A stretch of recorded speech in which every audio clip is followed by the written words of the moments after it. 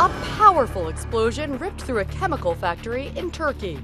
It sent a metal canister hundreds of yards into the air. The drum looks like a rocket, but what goes up must come down, and the canister came crashing down to Earth. It slammed into the street near parked cars, narrowly missing several people.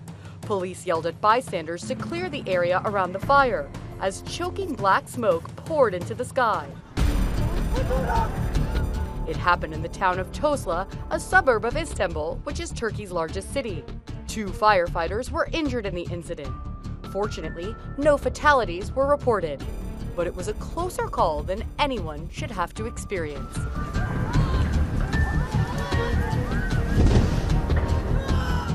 This is InsideEdition.com.